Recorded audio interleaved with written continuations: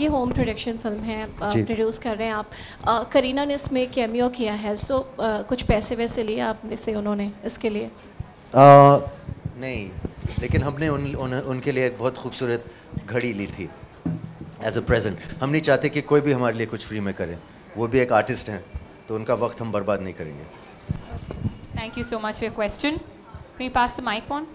Hello, Iliana ma'am. Yes. I want Hi, to. Karan. Hi. Again, hello. What type of happy ending do you want in your life? Um, I think the thought of uh, a happy ending is a bit tricky because, you know, we've been talking about this for so long, and when you say ending, it seems like it's an end of something, and when you end something, it's never normally happy, is it? So I hope I never have sad moments that lead to a happy ending, but I just hope I have these amazing chapters in my life, and I hope each of them ends happily.